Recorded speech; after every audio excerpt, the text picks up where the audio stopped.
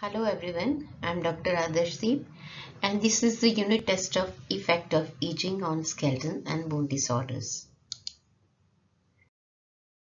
First of all, very short answer type questions which you have to answer in 2 to 3 lines. The first question from this category is define bone disorder.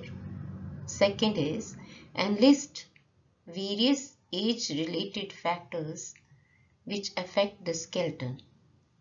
Next is name the canals present in the bones. What is the cause of Paget's disease? Next is differentiate between primary osteoporosis and secondary osteoporosis. Name the genetic bone disorders. Next is define arthritis Name its various types. Second category of questions are short answer type questions which you have to answer in a single paragraph.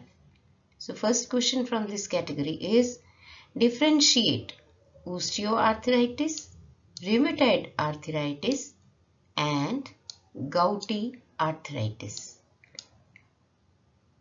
Next is explain the causes, effects and prevention of rickets and osteomalacia. Next is what is osteoporosis? Explain its types and causes along with structural peculiarities. Next is differentiate between dried bone and calcified bones. Next is state the cause and symptoms of osteosarcoma. Next is state the cause and symptoms of bone disorders caused by abnormal mineral homeostasis. And the last question from this category is define osteomyelitis, differentiate pyogenic and mycogenic osteomyelitis. Next category of questions are long answer type questions which are explanatory in nature.